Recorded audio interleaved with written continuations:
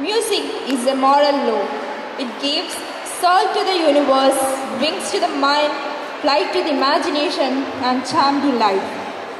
When words fail, music speaks. If music be the food of love, play on it under the last breath. Let's listen to a melodious song from the Nightingales of St. Philomena's.